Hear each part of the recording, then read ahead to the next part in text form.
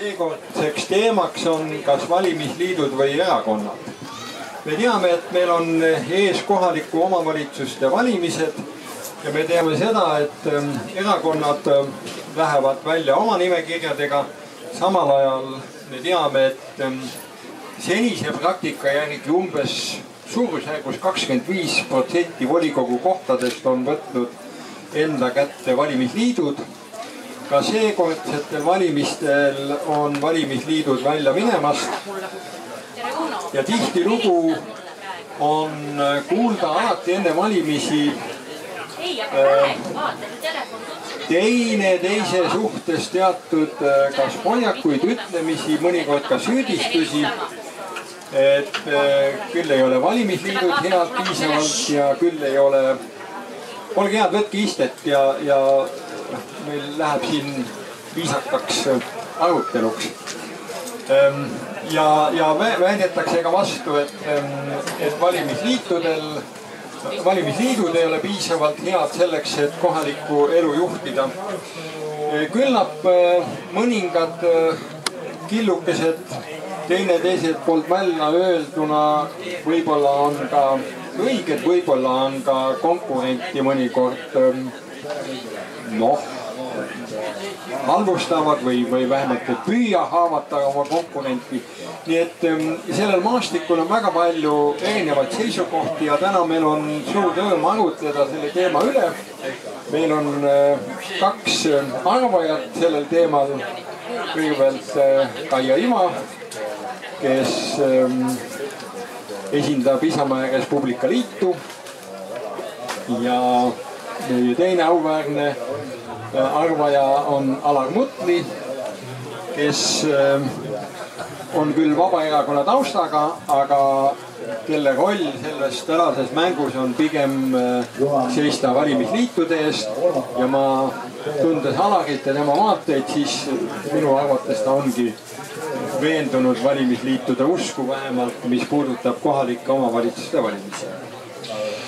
Ähm, ma pikemalt ei tahaks seda teemat ise praegu lahti rääkida.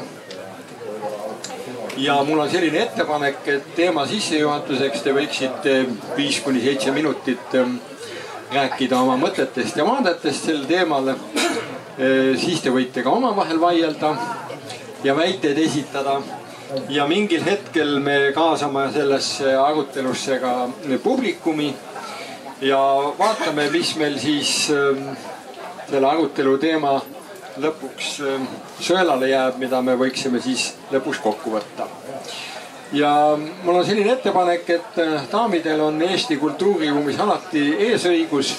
et ähm, selle tõttu Kaia, ma pakun mikrofoni kõigepealt äh, sulle ja räägi oma mõtted ära seoses siis kohalike omavalitsuste valimistega. ja jääme siis selle teema piires valimisliidud versus erakondlikud nimekirjad. ole hea. aitäh, Kaur. et täna õnneks seda õhukest jääd ei ole, et muidu on nii, et daamid enne eelkõige õhukesele jääle, eks ole, et, et. meil on siin väga tugev platvorm. kõik, kõik on väga hästi, et olen siia sattunud üsna ootamatult ja siukse viimsel kutsel on ju, ma saan aru, et siin olid väiksed vangerdused, aga, aga hea meelega, kuna ise olen ka kohalik, elan mõne kilomeetri kaugusel Kirna külas siin, siis on ju hea hea tulla ja hea arutleda. ma sain küll sellest sissejuhatusest aru, nagu oleks eeldus, et üks esindaks äh, meist äh, valimisliite, teine erakondi. aga mina pean küll kahjatsuseks ütlema seda, võib-olla väikseks pettumuseks, et mina olen ise kandideerinud nii valimisliitude koosseisus kui ka erakonna koosseisus. ja, ja kui vaadata natuke ajaloole tagasi, siis eh, minu esimesed kohaliku omavalitsuse volikogude valimised olid aastal üheksakümmend üheksa eh, väikeses Türi vallas enne seda, kui vallad ja linn olid meil ühinenud ja ma, ma võiksin nüüd teha äraarvamismängu, et kui keegi ära arvab täpselt, mitu häält ma esimestel valimistel sain, siis mul on ka auhind. teeme selle vooru ära, kas keegi julgeb pakkuda, mitu häält ma sain? nii, olge julged. kakskümmend seitse. nii, kaksteist oli, kakskümmend seitse oli, mis veel? viiskümmend. kolm, mis veel tuleb? No ma pakun oma poolt sada nelikümmend seitse ja Türi vallas oleks see suhteliselt huvitav tulemus olnud Te,. teate, kaheteistkümne, ei viisteist, kaheteistkümne eest äh, ma annan auhinna. mul on auhind kaasas kuu aega enne ministriks saamist keedetud aprikoosi pai moos, aitäh iga. õige, palun, õige vastus on üksteist häält üksteist häält, see oli jah, võrdlemisi ammu ja toona valimisliidu nimekirjas samm edasi. Ja mitte see ei ole mitte viide sellele, et valimisliidu nimekirjas ei ole võimalik häid hääli saada, kindlasti on. aga olukord Mm, ja see mõte, miks tol hetkel me olime valimisliidu nimekirjas, kuigi eh, hetkel juba olin erakonna liige, Isamaa Liidu liige, siis oligi see, et tegemist oli väikese vallaga. väikeses vallas eh, teatavasti ei saagi eeldada, et kõik erakonnad, kes tahavad seal väljas olla või erakonna liikmed, kes tahavad väljas olla Äh, suudaksid igaüks oma eraldi nimekirja panna. no ei teki, eks ole, näiteks viit tugevat nimekirja, lihtsalt neid isikuid nii palju ei ole, neid ei ole mõtet killustada, neid jõude. ja nii ka tookord me olime valimisliiduga väljas ja, ja, ja tegime oma tööd sellisel kujul küll aga ise, kui ma pean võib-olla natuke selgitama, et ma enne seda elasin Türi linnas ja kolisin kuu aega enne valimisi maale ja olin sellise omadele võõraste, võõrastele oma ja ajasime Türi linna asja, siis Türi linnas me läksime ikkagi erakonna nimekirjaga välja ja vaatasin ka järele, et näiteks äh, ühinenud Türi vallas ei ole mitte kordagi olnud väljas ühtegi valimisliitu. Äh, just sellel samal põhjusel ilmselt, et selleks hetkeks oli omavalitsus juba nii palju suur Eh, omavalitsustes elanike arv, valijate arv ja nende kandidaatide arv juba ka nii palju suur, et nad kõik juba grupeerusid ja mahtusid erinevate erakondade nimekirjadesse. mõistagi ei olda siin kõik erakonna liikmed, kes kandideerivad, üldse mitte. võib-olla veerand, võib-olla veelgi vähem nendest eh, kandideerijatest. teised on lihtsalt mõttekaaslased, kes ütlevad, et jah, teatud mööndustega, aga vot need põhimõtted see töö, see mulle sobib ja, ja minnaksegi erakonnaga koos. Mis see andnud on? ma arvan, et see on andnud selle, et on see järjepidevus. Ehk et järgmine kord küsitakse, ahah, teie olite need täpselt selle nime all, see erakond. Ja nüüd ma küsin, mis te tegite neli aastat tagasi, mis te tegite kaheksa aastat tagasi, mis te tegite kaksteist aastat tagasi? Ja, ja see järjepidevus on nii hoitud. Ma tean selles just äh, ka väiksemas Türi vallas oli kunagi üks valimisliit, mis äh, oli ka mitu perioodi ühe nime all. Aga, aga need äh, võib-olla, need näited võib-olla on pigem napimad, nii et selles mõttes ma olen näinud, et see erakonna nime all suures omavalitsuses olemine on andnud selle järjepidevuse ka.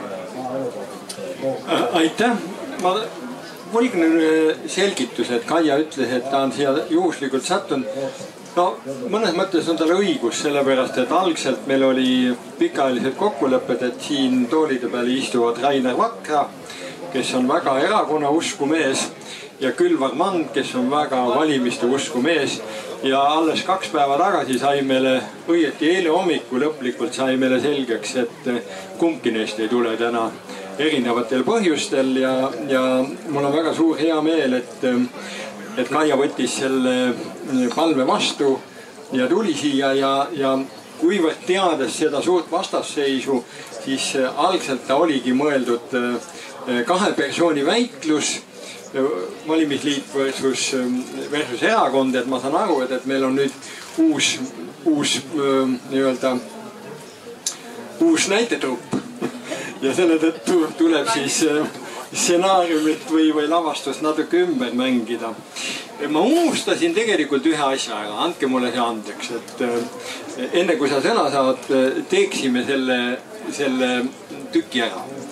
Ähm, kindlasti te olete igaüks enda jaoks noh, valmis mõelnud, et äh, mis teie arvates oleks õigem, kas kohalikku noh, omavalitsust peaksid juhtima valimisliidud või erakonnad ja ma teeks sellise äh, hääletuse debati algul ja lõpul, siis me saaksime lõpuks aru, et kas debatist oli ka üldse mingit kasu, et kas keegi oma meelt muutis või ei muutnud. et mul on selline ettepanek, et tõstke käed üles need, kes arvavad, et äh, see kohalik võim peaks olema erakondade käes. ei no mõlemates on inimesed, nii erakonnas on inimesed kui valimisliitudes on erakond, mitu kätt meil oli? Üks, kaks kätt ja nüüd, kes on, arvavad, et peaks valimisliidud olema? see on minu meeskond. oi, oi, oi, oi, oi. kas meie hulgas on ka erapooletuid? üks, kaks erapooletut, kolm erapooletut. nii. kes siis vastutab, kui on valimisliit? oota, me tuleme, me tuleme publiku võimaluste juurde kohe tagasi, et eh, me laseme kõigepealt eh, nii-öelda soojendusbändil selle asja eh, sisse juhatada või üles soojaks rääkida, siis ma kindlasti tulen ka publiku hulka ja te kõik saate arvata ja küsida. aga nüüd äh, Alar, sinu kord et tuletage mulle pärast meelde, mulle see vastutuse küsimus alati hirmsasti meeldib, et, et kuidas see vastutus käib, et ma, ma jah, oma mõtted räägin sellest ära. aga kõigepealt äh, natukene enda taustast. Äh, Alar Mutli nimi ja ma olen äh, Rapla vallast. Ja minu esimene kandideerimine toimus tuhat üheksasada üheksakümmend kuus ja siis oli Rapla vald, ei olnud veel linnaga ühinenud alates sellest ajast olen kogu aeg kandideerinud ja olnud, alguses olidki vist valimisliidud, ma ei mäleta, võib-olla oli mõni erakond ka seal. aga meie väikses vallas vist oli jah kaks valimisliitu. peale ühinemist tekkisid erakonnad, oli hetk, kus ei olnud ühtegi valimisliitu siis ma kandideerisin Reformierakonnas. ma olin natukene aega vallavanem ja peale seda perioodi lõin oma valimisliidu mis ta nüüd lõin oma, see on valesti, meid oli neli tükki, kes meid kokku sai ja selle mõtte idanema pani. see oli kaks tuhat kaksteist aasta oktoober, aasta enne siis neid kohalikke valimisi. kaks tuhat kolmteist me osalesime valimisliiduga äh, valimistel. Äh, üks valimisliit oli ainult, me võitsime need valimised. Äh, ja peale seda erakonnad panid kõik oma seljad kokku jätsid meid, kuidas siis on, pealtvaatajateks ja me oleme sisuliselt pealtvaatajad nüüd tänaseni ehk teeme seda opositsiooni tööd. mulle see küsimuse püstitus või nagu seal tahvli peal oli, et valimisliidud versus erakond ei meeldi. mina neid ei vastuta, vastandaks. minu arust on eesmärk haarata kaasa või kutsuda kaasa otsustusprotsessi võimalikult palju inimesi, kohalikke inimesi. Et ja, ja seda tuleb teha kas läbi erakondade, kas läbi valimisliitude. no seda teed kasutada, mis on võimalik, mis on inimestele vastuvõetav, võetav. ma võin öelda, et äh, meil täna on noh, võib-olla mitte päris pooled, aga umbes pooled. Äh, ja see on, ütleme kaheks, kakskümmend viis, mis meid seal on äh, umbes pooled on, väidavad, et nad ei oleks täna kohaliku poliitika juures, kui ei oleks valimisliitu. ehk et see on võimalus nendel tulla kaasa mõtlema otsustusprotsessi ja minu arust on oluline, et meid oleks seal palju. valimisliidu üks eelis kindlasti on ka see, et sinna võib kutsuda, seal võib olla koos väga palju erinevate erakondade esindajaid.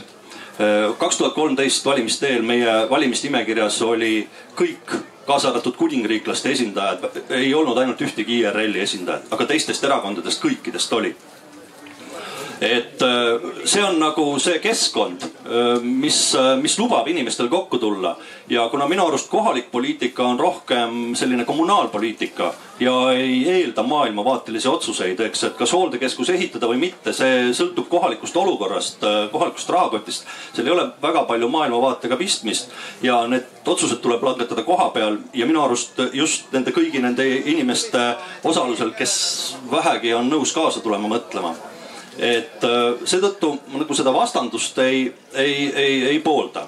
aga samas ma näen tegelikult, et äh, valimisliit ja erakond on natukene ikkagi antagonistlikus vastuolus. Äh, erakonna nimekiri esindab erakonda, valimisliidu nimekiri esindab kogukonda, võime öelda ka vabakonda. Ja, ja mida tugevam kogukond, seda vähem vajab ta erakonda. Ja vot erakondadele see ei meeldi, nemad tahaksid olla igas piirkonnas esindatud ja tugevad ja kolmas asi, mis äh, ma tahaks veel öelda, et äh, tegelikult ei ole meil ju neid erakondade nimekirju, et meil on erakonna nime all tegutsevad valimisliidud. ehk et äh, nagu Kaiagi ütles, et erakonna nime all on ju ainult umbes kakskümmend protsenti, kes kuuluvad erakonda. teised on ju täpselt samamoodi, ei ole erakonna liikmed ehk sisuliselt on ju tegemist valimisliitudega. ma võib-olla lisaksin siia juurde veel ka seda, et mina selles osas ka seda vastandumist ei näe, et üks on halb või teine on hea. ei, ei ole sellist eh, jõujoont siin otseti vahepeal, sest olukorrad võivad olla erinevad kui mingid aastad tagasi oli siin küsimus selles, et kas valimisliidud keelata ja, ja lõpuks see asi pöörati tagasi, siis sellel olukorral, sellel ajahetkel oleks see otsus olnud noh, täiesti vale, sellepärast et nii nagu ma ütlesin, et valla, vald, kus on viissada inimest, kuussada inimest, tuhat inimest, siis ähm, üldse neid nimekirju sinna väga palju moodustada on väga keeruline, lõpuks ta oleks ikkagi pidanud olema siis noh, sisult äh, valimisliit.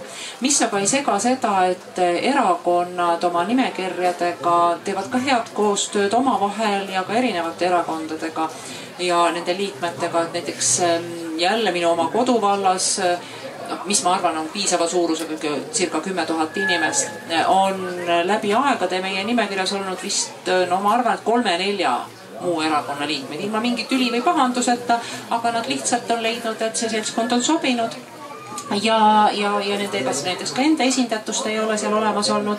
aga mis on see pluss olnud ka, et mina nagu ei julge seda väita, et erakond teeb kohalikus omavalitsuses selle nimekirja. ei, ikka meie ise koha peal teeme. ise koha peal olles need inimesed, äh, selle kogukonna osa ja, ja meie oleme saanud oma Türi vallas kõik need asjad nii aetud, et meie tuumik on jah, erakonna liikmed ja need teised ütlevad, et teised inimesed, et see mõttelaad, need tegevused, see sobib. mis selle pluss võiks olla, on see, et see annab ka tagurpidi tagasisidet erakonnale kohaliku elu küsimustest, nendest probleemidest ja on mõneti üsna hea ora selle erakonna talla all või kus iganes sest et äh, kui mingi asi riigi tasandil on kehvasti tehtud, siis küsitakse ju koha peal ka selle erakonna, kuulge, mis te teete seal Tallinnas ja, ja see on see, mis sageli on erakondadele üsna ka käivitav äh, mõju, ütleb, et me ei saa nii, kui Tallinnas tehakse lollusi, siis koha üks asi on kehvasti. nii et, et ka see tagasiside ja see peegeldus on hea. loomulikult võib olla omavalitsuste kaupa olukorrad erinevad kus on rohkem Tallinna kätt, kus vähem, kus on kohapealsed inimesed ise tugevamad. nii et eks need situatsioonid on erinevad ja sellepärast ma arvan, et ongi need võimalused erinevad. mis praegustel valimistel tulemas on, mis on võib-olla eripärane, on see, et tänu ühinemistele on situatsioon hästi keeruline ja, ja selle ühinemise käigus võib olla jälle uuesti see hetk, kus öeldakse, et see valimisliit võib-olla aitab seda kogukonna huvi selles mõttes paremini esile tuua, et võib-olla ühes vallas oli üks erakond ja teises oli teine ja kolmandas kolmas ja kuidagi seda asja keskpõrandale kokku tuua. nii et kindlasti see praegune valimiste kord on äh, selles osas natuke keerukam, nii nagu varasem olid väga väikestes valdades oli olukord teine kui suurtes oli jällegi võimalused erinevad ja, ja muidugi siin, eks siin kolleeg kõrvaltoolil ütleb, et valimisliidul on tehtud kambakas, eks ole, et erakonnad on teinud, aga siin see ei sega asja, et meie võitsime valimised ära ja pärast ühinemisi, kui me ise ühinemisi kaks tuhat viis, eh, kui ma olin enne seda Türi linnapea, siis nelja omavalitsuse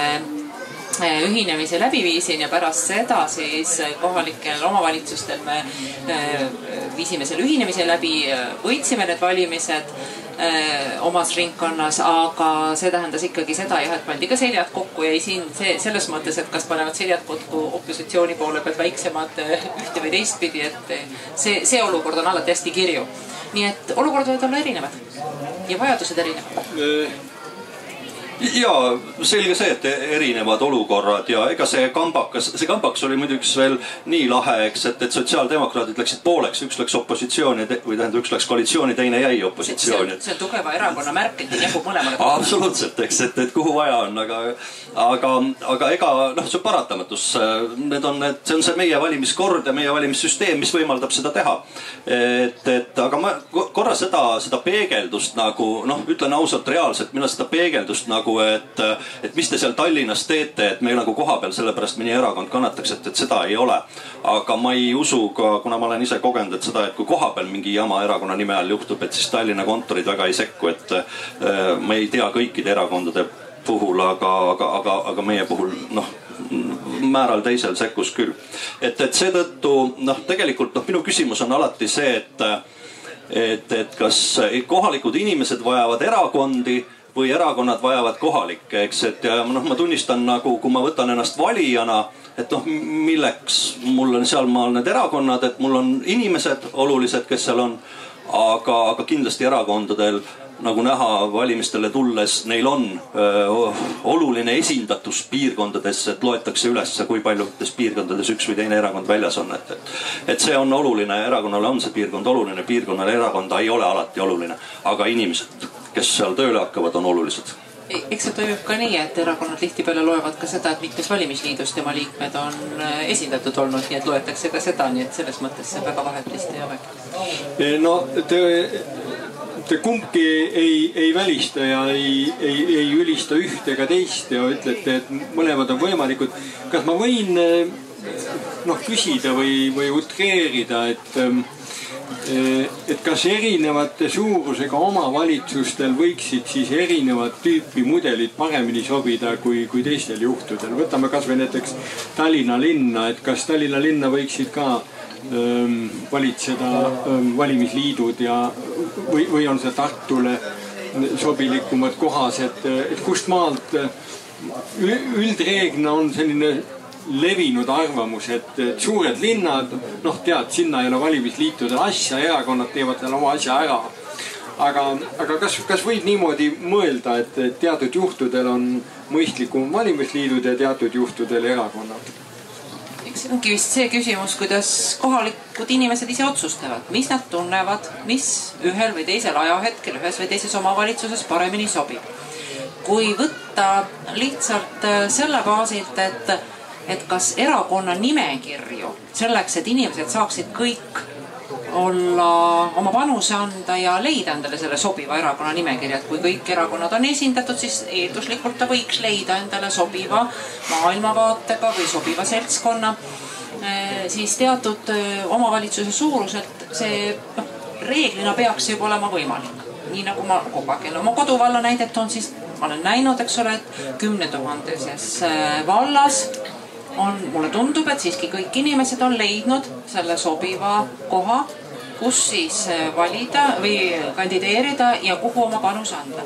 Äh, väga väikestes omavalitsustes on see keeruline, seal võib mingi tuumik ühest erakonnast kerkib välja, on tugev aga, aga see, et neid olekski näiteks seal viis erinevat, noh, võib-olla ei ole väga reaalne, et, et seal väik, väikeste puhul nagu juba tundub, et eelduslikult peaks olema valimisliidud ka. suurte puhul seda survet enam ei ole. kui seal on mingi muu põhjus, miks seal peaks olema valimisliit? tundes kohalikku elu, keegi võib öelda, et jah, see kuidagi toimib seal, mingil põhjusel on vajalik ja, ja, ja ka seal ta võib olla, aga seal see surve ilmselt on väiksem. et äh, ma, ma ei, ma ei tunneta Tallinna linna, ma, ma ei tea, eks, et äh, et noh, iseenesest muidugi võiks ju valimisliidud seal olla, aga tegelikult on minu arust rohkem probleem selles, et äh, erakondade jõud, kõige suuremad jõud erakondadest pannakse Tallinnasse. ja kuna erakonnad noh, lihtsalt oma olemuselt on nad rohkem pildil kui valimisliidud, nende liikmed on tuttavamad kõigile ja nad kogu oma jõu suunavad Tallinnasse, siis valimisliitudel on seal raske nagu vastu saada. ja tänu sellele nagu tundub, et erakonnad on, vot see Tallinna linn on see, kus erakonnad peavad võimu võtma, eks, et Tartus on juba situatsioon teine ja veel väiksemates äh, veel väiksemates omavalitsustes tuleb see valimisliitude osatähtsus juba hoopis rohkem, eks, et. et noh, ma veel kord ütlen, et minu arust on eesmärk see, et äh, kohaliku elu korraldamise juurde tuleks võimalikult rohkem kodanikke aktiivseid, sest et äh, kui valimisaktiivsus on nelikümmend, viiskümmend protsenti, siis see on minu arust häbiasi ja, ja, ja tegelikult noh, eesmärgiks seada, eks, et nelja aasta pärast on vähemalt kuuskümmend protsenti valimisaktiivsus see on selline selge eesmärk ja, ja mis näitab kodanike kaasamist sellesse otsustusprotsessi ja nende huvi tekitamist olla otsustajate juures. ja see on, ma arvan, nagu valimisliitudel natukene lihtsam, sest äh, tahes-tahtmata see suure erakonna bränd, see peegeldub sinna allapoole ka, eks, et noh, ükskõik mis, et, et me ju teame, mis toimub Tall Tallinnas võib-olla on ka selle võrra keeruline, seal ei ole valimisel niivõrd tähtis see otsesuhtlus või see ei, see ei pääse nii mõjule. seda inimest nii otse võib-olla ei tunta ja sageli siiski see hääl antakse sellise üldise tundmise ja üldise brändi pealt kohalikes eh, omavalitsuses, mis on väiksemad, noh, seal teatakse naabrit ja teatakse, kus sa koolis käisid ja teatakse, mis sa eile tegid ja mis sa homme teed. et seal on väga palju personaalsem see ja, ja seal selline üldine bränd mõjub vähem. nii et aga, aga eh, erakondade poole pealt ma näen ka seda, et võib-olla ja võib-olla ka kui on stabiilne valimisliit, mis on noh, läbi aastate olnud oma sama nimega või sama tuumikuga, on ka see pool, et et kui see seltskond suudab olla nii palju mõistlik, et ta suudab endaga kaasa tõmmata teisi inimesi, kes võib-olla no näiteks erakonnas, ta erakonda ei astu iialgi, aga ta ütleb, et jah, need inimesed ajavad mõistlikku asja see on mõistlikud, normaalsed inimesed ja me suudame juba enne omavahel nõnda arutada aastate kaupa küsimusi, et me ei lähe tülli. ei lähe ka nelja aasta pärast tülli ja suudame siis edasi minna ja vastutada selle eest, mis me tegime varasemalt. siis, siis see on üks selline nagu proovikivi ju ees ka juba ja ja võib-olla kui Tallinnas, võib-olla ka Tartus selline üldine erakonna reiting on oluline. eks ta mujal mõjutab ka aga jälle mina julgen öelda, et mina sain äh, Türi linnapeaks sellel hetkel, kui Isamaaliidu noh, toetus oli vist mingi sihuke kaks ja pool, eks ole. et äh, see ei avalda üldjuhul koha peal, kui koha peal on tugevalt asja aetud, ei avalda olulist mõju. mõningast küll. ma, ta, ma tahaks Ana sinuga natuke vaielda, et sa ütlesid, et erakonnad panevad kogu jõu Tallinnasse. no mingil määral on sul õigus, aga, aga teisest küljest me näeme, kuidas nad praegu saadavad ähm, inimesi, kes äh, Riigikogu valimiste ajal elavad Tallinnas ja, ja kohalike omavalitsuste valimiste ajaks kolivad kuskile äh, väiksemasse linna või maakohta. et selle kohta nüüd on omaette termin ka välja mõeldud. sul on vist mingi taolisele nähtusele viitav märk isegi rinnas.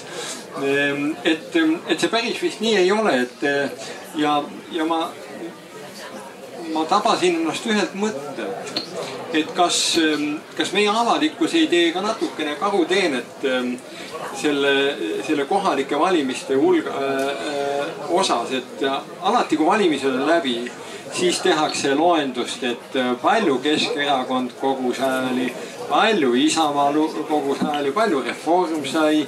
Ja need on üldse, tähendab, vaata nende ja, ja tehakse sealt automaatne järeldus et see on nüüd selle erakonna hetke reaalne toetustase ühiskonnas. ja nüüd selleks, et seda reitingut näidata, nüüd siis pingutatakse välja nende nimekirjadega ja kuigi võib-olla pole oma inimesi sinna rohkem panna kui üks-kaks nimekirja, ülejäänud kogutakse nii-öelda küla pealt kokku. et kas see ei ole ka omaette nagu põhjus, miks erakonnad kangesti tahavad välja välja minna, et enne Riigikogu valimisi saada üks selline tugev argument, et näed, avaliku uuringu küsimused või, või tulemused tegelikult eh, ei peegelda seda olemasolevat eh, toetust, aga vaadake, lugege nüüd hääled kokku peale kohalike omavalitsuste valimisi ja te näete, kuidas on mingi, milline on tegelik eh, erakondade toetus, et eh, kas, eh, kas ajakirjandus, kes seda kõike võimendab, teeb kohalikele erakonnale või elanikele ka mingil moel nagu öelda kahuteene? mingi viis aastat, võib-olla natuke rohkem natukene vähem tagasi ma juurdlesin ka selle küsimuse üle, eks, et miks erakonnad loevad kokku kõik need, kõik need nende võimupositsioonid või nende erakonna liikmete käes olevad võimupositsioonid. Ehk meil on vallavanem seal, seal, seal, seal, eks, et noh, ma saan aru, ma olen hästi paranoiline inimene, aga, aga minu arust see on selline avalik reklaam äh, ettevõtjatele. Et äh, see võim on selles, selles, selles vallas meie käes, et natukene toetust meie kassasse ja nendes kohtades me suudame teid aidata. Et äh, ma seda, seda mõttekäiku ei pea väga tõsiselt võtma, aga, aga kah üks variantidest tegelikult see tundus mulle kuidagi sihuke võõravõitu, aga, aga muidugi sellega ma olen ka nõus, et, et ilmselt see, et küsitakse või tehakse seda kokkuvõtet, jah, et ilmselt, ilmselt selle järgi ju ka noh, mingisugune meediamõju ju loomulikult on või mingi selline peegeldus, eks need küsitlused ja need, mis vahepeal tehakse, eks see on ka äh, see, mida vaadatakse, aga, aga, aga see, see läks nüüd minu mõttest natuke kaugele. ma vahepeal proovisin piiluda ja tal oli, mis sul rinnas on, sul on pardipilt või? muideks teate Äh, eel jälle. Mul, issand, kuidas mulle mu enda koduvald meeldib, on ju, kohalikud valimised tulemas ja, ja ma muudkui aga proovin selle näitel rääkida. Türi vald. Äh, neli aastat tagasi. Äh, neli aastat tagasi üks erakond meie koduvallas praktiliselt ei teinudki muud kampaaniat kui seda, et ei partidele. ja silmas peeti kogu aeg ühte parti, selle nimi oli Kaia Iva, kes oli sel hetkel riigikogu liige. Eh, kandideeris eh, IRL-i nimekirjas, tegin lausa eraldi reklaami selle kohta, et olen praegusel hetkel Riigikogu liige. kui osutun volikokku valituks, ei lahku Riigikogust, vaid lähen volikokku tööle siis, kui minu Riigikogu mandaat lõpeb. Tegin täpselt nii, kui minu Riigikogu mandaat lõppes, läksin kohalikku volikogusse, olin seal poolteist aastat kuni ministriks saamiseni ja nüüd mitte liiga tagasihoidlik olles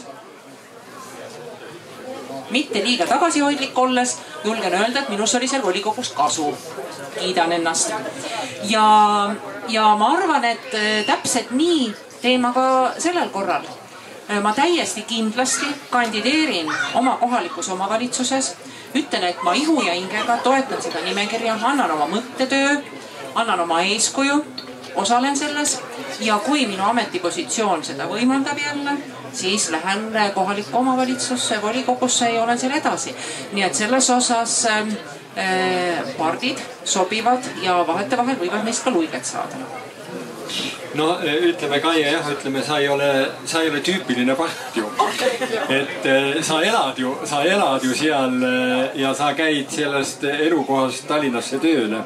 aga meil on neid parte, kes ikka elavad alaliselt Tallinnas ja käivad käivad siis kohalike valimiste aegas, kes käivad Põlvasse või Valka või kuskile mujale hääli püüdmas. aga see ei seganud neli aastat tagasi tegema suure, suurte loosungitega mulle sihukest pardipraadi pakkumast. aga mul on nüüd selline mõte tulnud, et, ähm, et te, et teil igav ei hakkaks ja et te saaksite selles äh, arvamise virvarris äh, osaleda, et ma pakuks mikrofoni nüüd teile ka ja andke mulle siis käega märku, kes kes, kes tahab sõna võtta, et äh, ma siis, ma siis tulen teie juurde mikrofoniga. Aitäh, Andres Herkel, ma ei oleks võib-olla seda sõna võtnud, aga ma ootasin, et siin diskussioonis tuleb üks aspekt veel esile, ei ole tulnud, selle tõttu ma selle tõstatan ja küsin. põhimõtteliselt ma olen nõus sellega, et see vastandus ei saa olla terav ja ta ei pea olema terav. inimese kvaliteeti, poliitiku kvaliteeti, see ei muuda, millises nimekirjas ta kandideerib, lihtsalt kandideerimisõigus peab olema kõikidele tagatud ühesugusel moel see Eesti ühiskonnas kõneldi äh, teravaks sellel perioodil, kui hakati valimisliite ära keelama ja Kaia seda mäletab ja sellele osutas ka. ja sealt on see teravdatud vastandus tulnud, et ma ajaloolise ekskursina võin öelda, et äh, praktiliselt kõik tollased suured erakonnad mingil hetkel kaalusid seda, et oi kui tore mõte, me suurendaksime oma mõjujõudu. aga perioodil kaks tuhat kolm kuni kaks tuhat seitse Riigikogus toonane Isamaaliit ja toonased mõõrukad, mõlemad on nüüd poliitikas natukene teise nime all, aga, aga siiski vastustasid ja äh, aitasid Allar Jõksi selles iseenesest õiglases võitluses, et valimisliitude äh, õigus äh, valimistel osaleda säiliks ja kindlasti see oleks Eesti demokraatiale olnud väga halbade tagajärgedega, kui niisugune katse oleks läbi läinud aga nüüd tulles äh, sellise akuutse praeguse teema juurde, minu meelest teema on see, et äh, need kahte tüüpi nimekirjad on erinevate võimalustega valimistel. ehk siis erakonnad on riigieelarvest rahastatud viie koma nelja miljoniga aastas, sealt jätkub ka võimalusi toetada kohapealseid nimekirju, trükkida voldikuid ma olen küllalt kuulnud ka seda argumenti, et miks üks või teine kandidaat eelistab erakonna nimekirja, aga nad teevad selle valimiskampaania asja mulle valmis, mul on lihtsam. aga valimisliitudel sellist võimalust ei ole. ja selle küsimuse ma tahaksin nüüd tõstatada, et äh, Jüri Adamsi abiga me koostasime ühe eelnõu, mille pealkiri oli kohaliku demokraatia toetamise eelnõu, mis nägi ette siis seda, et sellest samast rahast mingi osa läheks valimistel edukalt olnud valimisliitudele. aga lahenduse teine variant lihtsalt erakondadelt selle raha oluliselt vähendada ja määratleda selle sihtotstarve nii, et kohalikel valimistel erinevad nimekirjad ei oleks erinevas olukorras. nii et Kaialt ma küsiks siis seda, et kas eh, IRL on valmis säärast algatust toetama ja Alarilt ma küsiks seda, et kas see kohaliku valimisliidu vaates on oluline küsimus, et kuivõrd selline ebaõiglus iseenesest eh, mõjutab. aitäh eks see sõltub ju sellest, mis lõpuks on ühe või teise algatuse päris sisu, tavaliselt see saatan on ikka detailides. et äh, kui arutama hakata. Äh, aga kui vaadata, et kas see ebaõiglus on võib-olla nii üheülbane, nagu sa, Andres, välja tõid äh, kohalikul omavalitsuse roll ja, ja erakonna roll seal kohalikus omavalitsuses on ka üheti ka see, millest ma enne kõnelesin. et see tagasiside ülespoole see sund, see surve ja, ja ka selle poole sidustamine. ka see on tegelikult vajalik töö nii riigi tasemel kui Riigikogu tasemel ega ei ole sugugi lihtne neil erakondadel, kus kohalikus omavalitsuses oma nimekirjaga väljas ollakse, sest nii nagu ütlesin, kõige teravam ora on ikka see enda erakonna Eh, nimekiri enda erakonna inimesed, kes kohapeal toimetavad. ja kui nad veel juhtuvad, et nad võimul on, siis selles kohalikus omavalitsuses, siis seda tugevam eh, see surve altpool on jälle, kui vaadates, et eh, kui palju kohalikel valimistel on erakonna positiivset mõju, siis ma usun, et see ja raha poole mõju ilmselt on igal juhul suurem oma, jälle suurtes omavalitsustes. väikestes omavalitsustes ma arvan, et äh, on see suhteliselt tagasihoidlikum, ta on küll olemas, aga ta kindlasti on väiksem. ja kui ma vaatan jällegi, et kuidas meie praktikas toimetame, siis äh, valdav osa ressursist, mis me kasutame, on ikkagi ka just oma näppude vahelt korjatud nüüd võiks küsida, et kas erakonna nimekirjas väljas olemine on ka midagi negatiivset, ehk et eh, kui see, et riigieelarvest on erakonnad rahastatud, on nagu positiivne, kas on midagi sellist, mida sellega tasandada tuleb, siis eks seegi on siin ju juba läbi käinud, et erakonna kuvand ühel või teisel hetkel võib ka kohapeal olla pärssiv miks mõnedki valimisliidud on ju aeg-ajalt tekkinud ja ilmselt tekivad ka edaspidi, on see, et mingil hetkel erakond ütleb, et ta seis või kuvand on kehvavõitu ja ta sellepärast ei lähe erakonna nime all. nii et eks siin on sellised plussid ja miinused mõlemat pidi noh, kellele ei meeldiks, kui sulle öeldakse, et siin on raha, võta ja kasuta. noh, ma arvan, kõigile meeldib.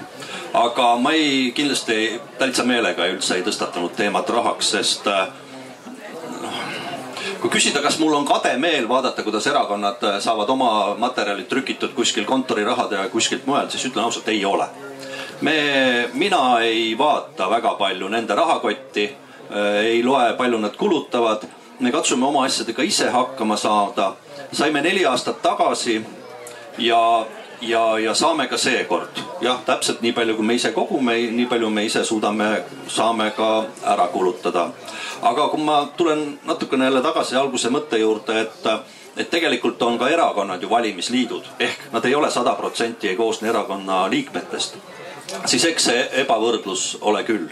ja kui keegi suudab selle lahendada mis saab mul selle vastu olla, aga midagi ei jää tegemata, kui see süsteem samamoodi edasi läheb, et äh, ükski valimisliit tulemata küll ei jää, ma arvan. et ma tõlgiks natuke, härra Maurus on alati kodus, kui raha tuuakse, võib kas või öösel tulla. absoluutselt ja mul see kontonumber on ka avalik alati. No ja, ja vahetevahel on ka see fenomen ju veel, et, et äh, kui annetada on vaja, siis lihtsam on mõneti annetada kodanike ühendusele kui erakonnale, sest sellisel juhtumil, kui seda abi otsida või rahalist tuge, siis vahetevahel öeldakse, aga sellisel juhtumil nagu oleks mu maailmavaade väga paigas, et niimoodi kõrvalt eh, tuge otsida, vahetevahel on ka need nüansid veel siin juureski. ja, ja nii, ma liigun publiku hulka nende juurde, kes, kes kätt tõstavad. ma, kohe tulen teie juurde. võtame, võtame siit ikka siis vanuse järjekorras. Ma tahtsin seda öelda, ma hakkaksin algusest peale. ta küsis minu käest, et kas, kes on kaua aega olnud parteis. Ma olen Vabaerakonna liige ja ma olen selle üle väga uhke, kuigi ma alustasin pensionäride ja perede erakonnaga. see tähendab seda, et üle vabariigi, aga nüüd oleks nüüd küsimus teile kõigile. kas nüüd uus valimissüsteem, kuueteistaastaste noorte valimine haarab nüüd ka kohalikke valimisi ja kui see nüüd kõrval istus üks noormees, kes oli kuueteistaastane ja tal oli väga segased seisukohad ja arvamused, aga noh, see polegi midagi imestada. mina astusin perede pensionäride erakonda siis, kui olin juba neljakümne aasta vana ja ma olin viisteist aastat peasekretär. See tähendab seda, et ma olen olnud kogu nende asjadega, kord on lubatud valimisliidud, siis on ära keelatud, siis on jälle lubatud, siis on jälle ära keelatud. nii et asi on segane olnud siiamaale. Ja mina saan nüüd olla ühe või teise poolt ainult sel puhul, kui ma tean, kas need noored kuuluvad praegu ja tahavad meie valimistest kohalikest valimistest osa võtta. seepärast, et uhkusega ütlen, et see nelikümmend tuhat, mis kaitseb meid idapiiril praegu, nelikümmend tuhat kiirvõitlejat, seda on NATO ja selle jaoks on meil praegu saadud, näete, siin on meie ravi ja rehabilitatsiooni rahvusvaheline ilmalinna. see tuleb Jõgeva rajooni, Jõgeva maakonda, kus on kolmkümmend üheksa tuhat nüüd elanikku. see selleks hästi, ma võin, ma võin öelda, et eh, need noored just saavad valida kohalike omavalitsuste valimistel ja nad ei saa veel Riigikogu hääletada, et nüüd selles mõttes noortega on kõik asi korras, aga ma nüüd liigun mikrofoniga siia tahapoole. ma olen Seidelberg ja avaldaksin kõigepealt arvamust et, või hämmeldust, hämmeldust, et te nagu eitasite ja pidasite tühiseks seda, et parteid nagu soosivad tööstused. mul on isegi olemas näide ja, ja, ja tõendus, et toimub isegi midagi enamat. ja ma küsiksin teie käest praegu, et kas teie olete tähele pannud varasemast Riigikogu eh, toimingutest, kus on eh, nii-öelda pardid soodustanud, et Riigikogus läheb midagi läbi, mis on kohalikule vajalik ja kasulik ma hästi ei saanud aru, et eh, erakonnad. ma, ma püüan tõlkida, et eh, keskkontoritest saadakse pardid maastikule, osutuvad valituks, samal ajal eh, jätkavad Riigikogus ja kas sellest on iseenesest kasu, et nad nüüd Riigikogu liikmetena samal ajal olles volikogudes on midagi väga kasulikku, võimsat ja head volikogude heaks ära teinud umbes niimoodi ma tõlkisin ära selle küsimuse. Ma arvan, et see sõltub jälle igast kohalik või sellest isikust, kes missuguse panuse annab ja miks ta ühes või teises kohalikus omavalitsuses on kandideerinud. kui on selline isik, kes ütlebki, et noh, annab oma nime, äh, ei huvitu, mis seal kohapeal toimub ja võib-olla rohkem ei oma jalga sinna ka ei tõsta, siis ma arvan, et temast ka seal pärast kasu ei ole. aga kui on see tegelik side olemas ja huvitutakse selle kohaliku omavalitsuse elust ka edaspidi ja, ja nii nagu siin noh, toodud ka näide, et kui Riigikogu töö lõpeb, minnaksegi kohaliku omavalitsuse volikokku ja, ja seal tõesti ikka kõvasti õlg alla pannakse, siis on sellest kindlasti kasu ja ikkagi positiivses mõttes kasu. nii et see side kohaliku omavalitsuse ja Tallinna vahel pole üldse halb aga kui otsida, et kas siin võiks olla ka negatiivseid asju, et kas sellest midagi halba juhtub, siis äh, kui loomulikult on ka alati see oht olemas, et kui väga edasi jõuliselt hakata ühe omavalitsuse mingit ühte konkreetset asja ajama, et unustada see üldine riigi huvi, ega see, ka see on võimalik. nii et äh, see sõltub ikka sellest poliitilisest kultuurist, kuidas üks või teine konkreetne saadik oma tööd teeb.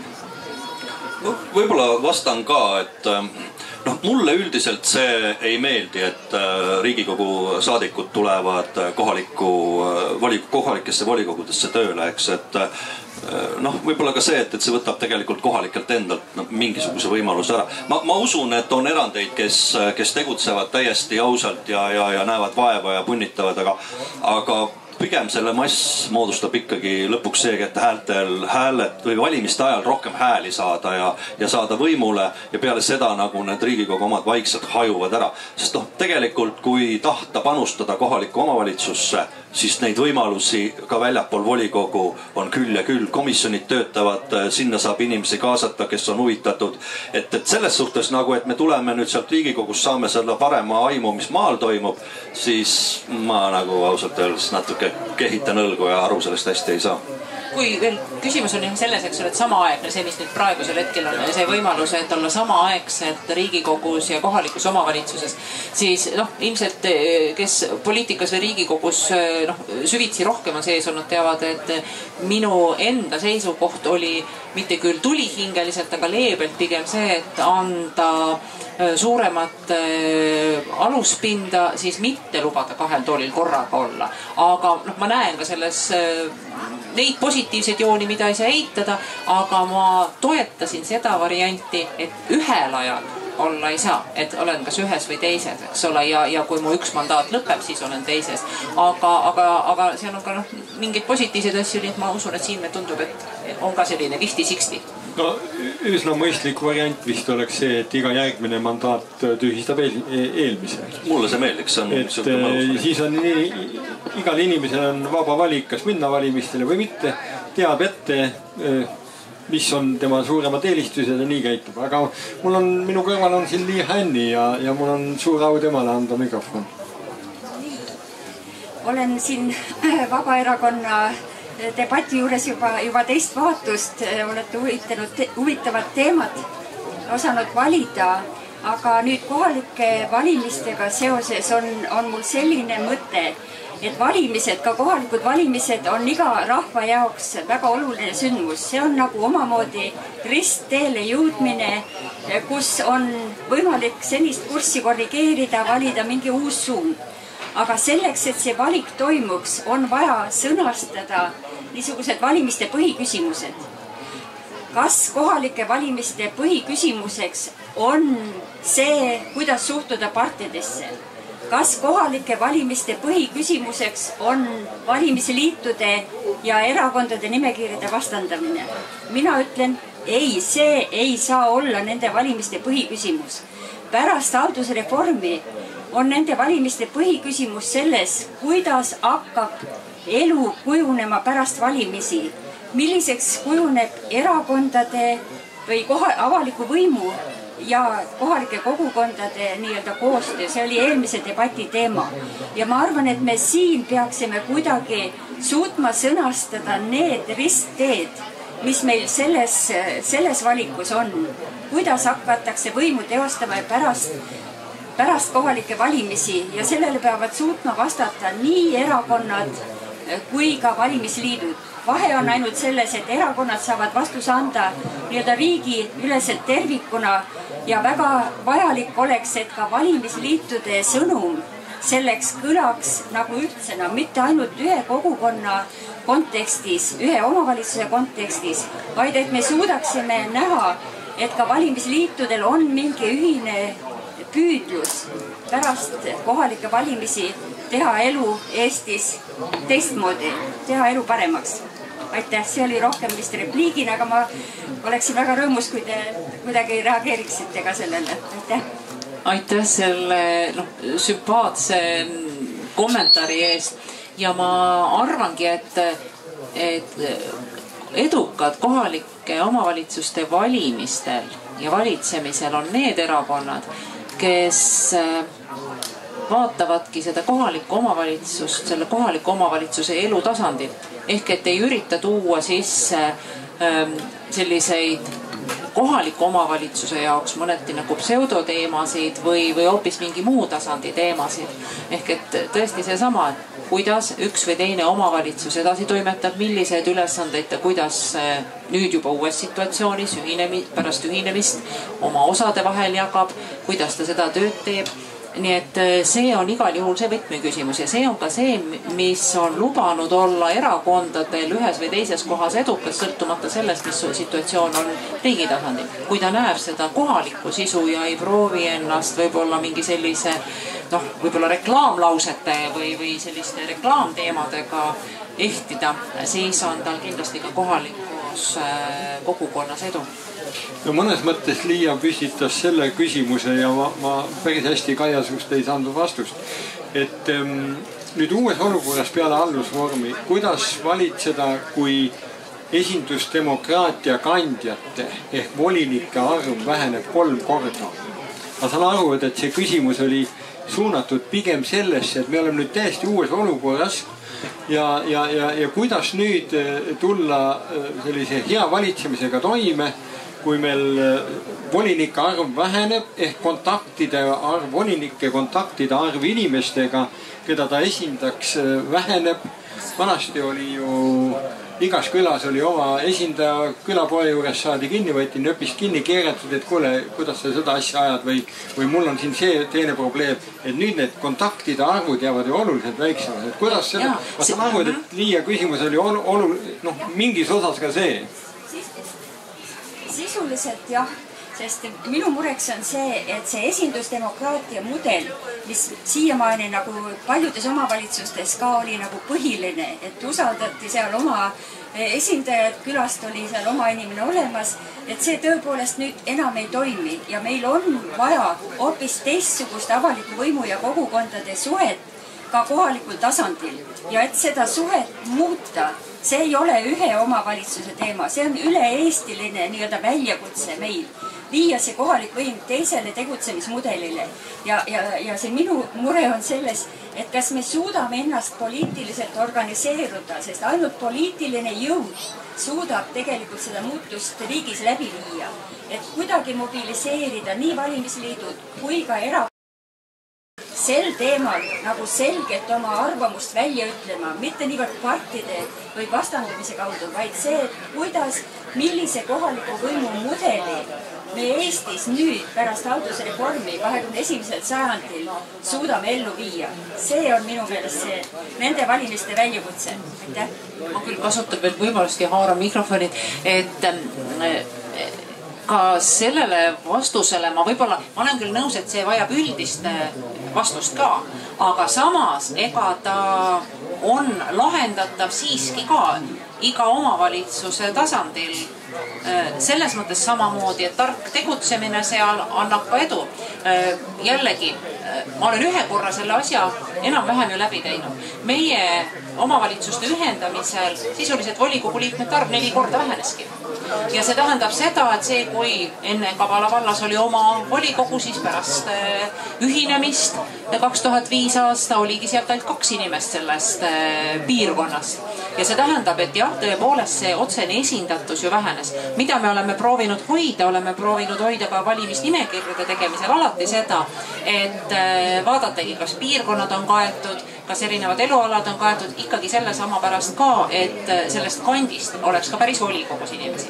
mis aga tuli välja äh, pärast äh, ühinemist meie omavalitsuses ja noh, see ei juhtunud ka mitte iseenesest, vaid ikkagi sedasi noh, väikse präänikuga eesttõukamise ja tõmbamisega oli see, et selle kodaniku aktiivsus ja kogukondade aktiivsus tõusis, külaliikumine ja, ja see tegevus ka organiseeritud kujul ja sellise tõesti organiseeritud tõukamisega eh, edenes nõnda, et see, mis alguses öeldi, et info jõuab eh, kusagile tagamaadele kehvemini või nende roll väheneb või nende tähelepanu neile väheneb, siis ei olnud nii, see tegelikult toimis vastupidi, sest seda võeti teravdatult vaatluse alla, et see enam ei juhtunud mitte umbes, vaid sellega tegelikult tegeletigi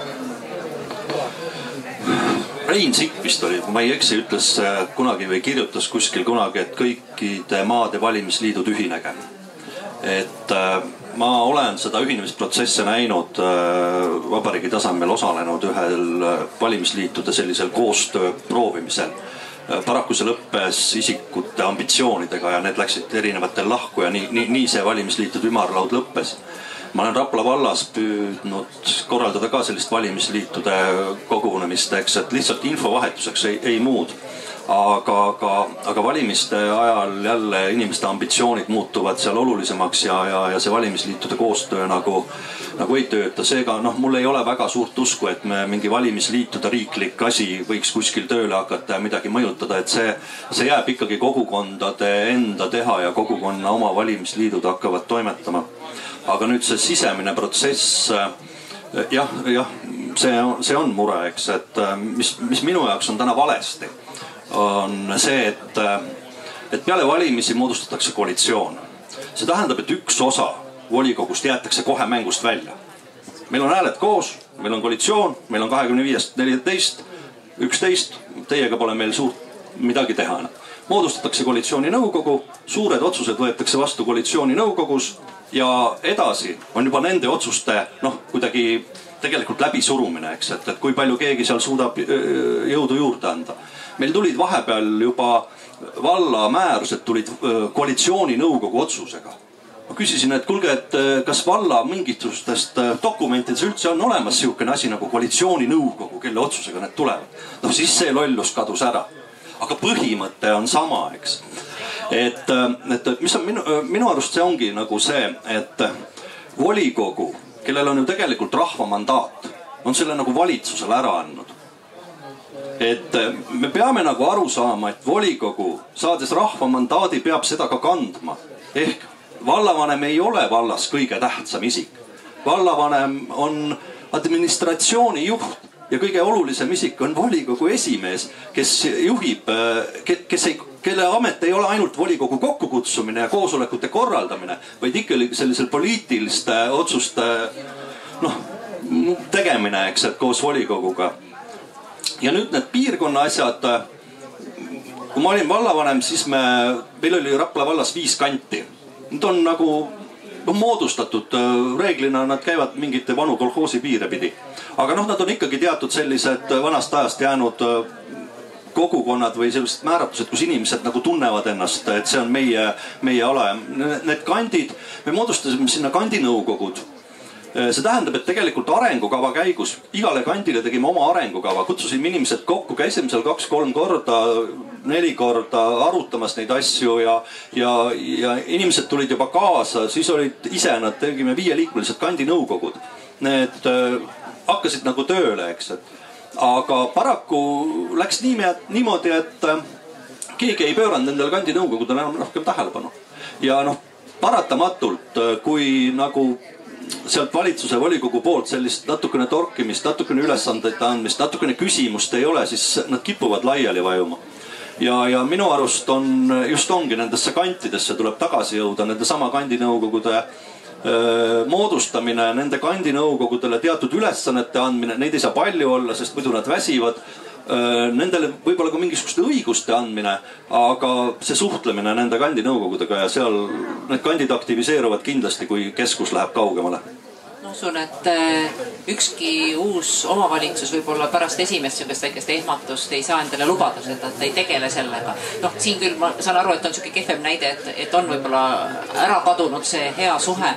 aga see on ju eluliselt tähtis ükskõik kellele, kes seal vallas noh, nõndanimetatud võimul on sest eh, ta ei saa teha head poliitikat, kui ta kõikide nende osadega ei suhtle. aga võib-olla selles samas teemapüstituses eh, Liia ongi see ka natukene see vastus, et miks jällegi mingil hetkel see erakond ka kohalikul tasandil on hea, sest äh, erakonnas, no kakeldakse, mis kakeldakse, vaieldakse, mis vaieldakse, aga see väljund sinna siiski on olemas. no nii nagu siin kolleeg ütleb, et äh, valimisliidud tulid kokku, tegid jututoa ja siis need isiklikud ambitsioonid rohkem ei lubanud omavahel, eks ole, koostööd teha. see oli valimisliitude liit, et Ja. see ei olnud nagu, see oli, Ja, tegelikult ja, see ja. oligi nagu info. ja, aga et, et erakond, noh, nemad juba peavad, kas siis, kas toimetavad edasi, lähevad lõhki või ei, või ei toimeta edasi, aga nad peavad kuidagipidi mingid vastused andma. kasvõi nui neiaks nad peavad mõtlema, sest neil on see vastutus, nad on ise selle vastutuse võtnud. Kaia, erakondade liiduga juhtuks sama, mis valimisliitude ja liiduga. see, sellepärast ongi see natuke, sellepärast ongi see nii üles ehitatud, et ei ole erakondade liit, vaid ongi üks erakond ja eks me teame, eks see eh, paleus vahetevahel on, et, et tahaks, tahaks veel, et ole, oleks uus erakond ja minul nagu. jah, hästi. ma usun, Liia sai teatud mõttes vastuse. Teine võimalik lahendus on ju sellele asjale see, et meil on ähm, ühes vallas mitu valimispiirkonda, et see tagab nii-öelda ka teatud mõttes proportsionaalsuse esindatuse. et kahetsusväärselt minu hinnangul on on enamikes uutes omavalitsustes lepitud kokku üks valimispiirkond ja see võib tekitada tõepoolest olukorra, et seal, kus on äh, mass inimesi, sealt tulevad hääled ja need hõreasestusalad võivad jääma üldse esinduseta, et see on üks muide võimalik reaalne. praktikuna ma ütlen, et see pigem on natuke vastupidi.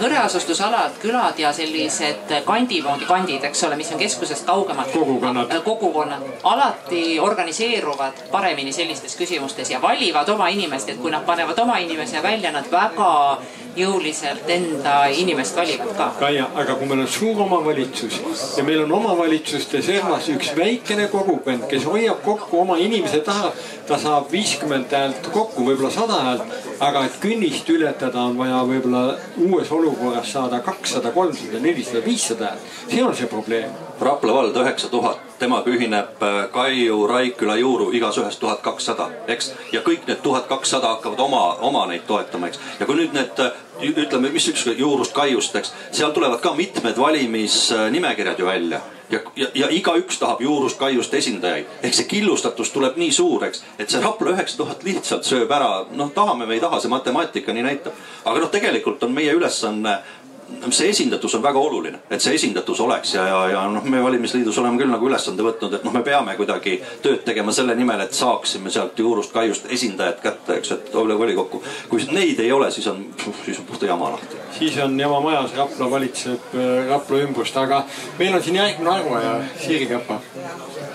aitäh, olen Siiri Käpa ja olen valimisliitudes tegutsenud, valimisliidus tegutsenud aastast kaks tuhat üheksa ja Kaul võttis mul just ennem sõnad ära ja millele ma tahtsin just nagu tähelepanu pöörata, on need valimisringkonnad, mis nüüd praegu on eh,. olen Saue linna elanik ja nüüd on siis eh, ühinemine on siis Saue valla, Saue linn, Kernu ja Nissi vald ja kui nüüd valijatega rääkida, ega valijatel kerge ei ole, nad on täiesti segaduses. Et eh, see valimisliit on saanud nagu võlusõnaks erakondadele, me nüüd teame, et erakonnad teevad oma nimekirju ja panevad ka valimisliidu nime alla selle, et see on meie valimisliit, inimesed ei saa aru, kas ta on siis nüüd erakondlik valimisliit või on ta valimisliit. et eh, tunnetavad seda, et eh, inim-, elanik ja võim, need kaugenevad üksteisest see on üks asi, see on nüüd täpselt see, mis on tagasiside siis nagu valijatel. Ja teine on nüüd täpselt see ringkonna küsimus, et äh, need ääremaa inimesed, see on see õige, on see puhas matemaatika, et äh, nad ei pääse, nad ei pääse sinna volikokku oma inimeste ees seisma. et äh, paraku need erakonnad nagu sõidavad ikka nagu teerulliga nendest üle et selles suhtes on kurb ja inimesed aduvad selle väga hästi ära, sest see on, see on tõesti viienda klassi matemaatika. aitäh. et kui ma tohin, et, et ma selles mõttes ma ei ole nõus, et erakonnad sõidavad, inimesed sõidavad üle, eks, et, et tegelikult on seal on inimesed ja see on suhtumine ja, ja tegelikult ega kui valimisliidu esindajatel on samasugune suhtumine, siis nad sõidavad täpselt samamoodi üle, eks, et. et, et noh, minu arust on see see otsustusprotsessi korraldamise küsimus ja, ja, ja, ja, ja paraku, paraku see, mis te rääkisite, on, on, on tõde jah, nii, nii kipub olema. kas ma tohin siia ka siis väikse kommentaari vahele, olen Raivo Kokser olen ja, ja poliitikas hästi-hästi pikalt olnud IRL-i taustaga. aga siin oli mainitud just seesama, ütlesid üheksa tuhat ja, ja tuhandes, et meil on tegelikult Saue vallas on on sama situatsioon, et Saue vald saab mingi üksteist tuhat, Saue linn alla kuue tuhande ja teised veel riburada väiksed juurde. ja, ja täna on äh, Saue vallas siis äh, loodud niisugune noh, nii-öelda valimisliit äh, kaasa arvatud on seal siis IRL-i liikmed ja nii edasi, et, et ma tean ka, et IRL-i taust on seal, toetus on taga.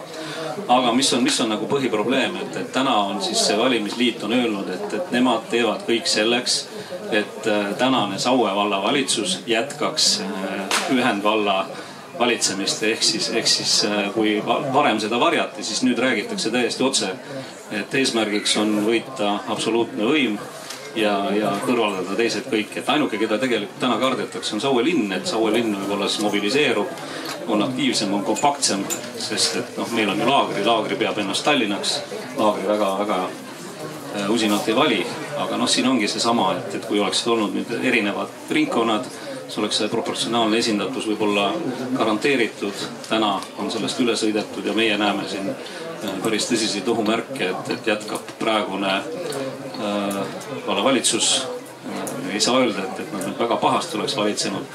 aga see, mis toimuma hakkab, et seda me ei tea, et, et äh, seesama võim on kaugenenud päris tõsiselt ma võib-olla korra kommenteeriks, selge on see, et kui volikogu liikmeid on vähem, siis noh, erinevaid külasid, eh, keda esindada oleks võimalik, loomulikult on vähem, see on päris selge. aga eks see valimisnimekirja kokkupanemise tarkus on ka see, et vaadata, et proportsionaalselt ühest või teisest kandist oleks inimesi selliseid, et inimesed saaksid oma tarkusest ka eh, noh, tõesti koopereeruda ja minna nende isikute taha Eh, kes ühest või teisest kohast võiksid eh, valitud osutuda ja kui nimekiri on väga palju, kandidaate on väga palju, siis on see keeruline. võib-olla ka maakonnapõhises suures omavalitsuses ilmselt ma ei adu võib-olla hetkel seda situatsiooni, on see keeruline. ma ei tea, mul on niisugune tunne, et me oleme nagu jumalast ära valitud hea paik. et, et meil pärast selle nelja omavalitsuse ühinemist ja see võib-olla siis see kümme tuhat on ka parasjagu nii palju väike omavalitsus veel. et see, et igast ühinenust omavalitsusest enam-vähem proportsionaalselt Äh, oli volinikke, ikkagi tekkis ja pigem meil tekkis see, et väiksematest piirkondadest rohkem. me proovisime esimese korra ära selle, et tegime ringkonnavalimised. mis oli selle miinus, oli see, et nii nagu ringkondade puhul ikka ja Tallinna puhul me ju teame, et võib tekkida teatud eh, juhtudel selline killustatus, et lähevad mingid hääled väga palju kaduma, et tekivad need poolikud kohad ja siis hakkavad need ülekandumised tulevad, mis ka mõnes mõttes moonutab seda olukorda. ja, ja me loobusime pärast esimest korda ringkondades valimist ja teeme eh, üle vallalist valimist ja, ja loomulikult iga küla ei saa esindust, aga need kandid, kes enne olid olemas, need praegu on selles mõttes hästi läinud, et see tarkus ilmselt nimekirjade moodustamisel on selle taganud. aga Kaia, kas sa oled minuga nõus, et seda probleemi annaks lahendada valimiskünnise alandamine, et, et me oleme arutanud seda ja jõudnud järeldusele, et kohalikul tasandil võiks valimiskünnis olla üldse olematu et siis meil ei ole vaja hakata hääli ümber eh, mängima kellegi kasuks, kellegi kahjuks. et olukord kohe muutuks palju paremaks vaata, aga kui ta neid ringkondi on juba nii palju palju, siis noh, paratamatult seal see mm, ja omavaheline jagunemine tekitab sellist kas disproportsiooni, et, et ühes kohas tuleb mul mitu inimest sealt sisse, teises ma ei saagi, jään sinna alla. ma ei tea, kuidagi matemaatiliselt läbi mõelda, ma ei tea, kas see annab nii. ta igal juhul ju midagi läheb kusagilt kohast ses osas kaduma, et kui sul kohti on, ütleme neli korda ongi volikogu kohti vähem siis igal juhul see jagunemine kuidagipidi peab seal toimuma, aga, aga eks see, see võib-olla on ka see nuputamise koht, et mõelda, et kuidas, kuidas see ka nõnda paremini saaks. et ma tean Põlva valla võitluse lugu, kus Põlva vallaga ühineb neli maavalda nendes neljas maavallas kamba peal on kokku kuuskümmend protsenti elanikke ja nelikümmend Põlva linnas. ja seal äh, tehti ettepanek teha vähemalt kaks valimispiirkonda, maavallad ja linn. ja see hääletati volikogus äh, erakondade esindajate poolt julmalt maha. nii et, ähm, et, et mingid, mingid ohumärgid selles suhtes olemas, et ja kui me nüüd hindame selle kahe ütleme, valimispiirkonna võimekusi ühises, ühises nimekirjas ennast realiseerida, siis tiheasustusaladel, kus informatsioon liigub palju olulisemalt, kiiremini ja, ja edukamalt, siis kindlasti mõlvakatel on suuremad eelised saada tegelikult enamus volikogu kohtasid ja ja maavaldadel on väga suur šanss kaotada see, see positsioon, mis neil tegelikult proportsionaalsusega oleks antud.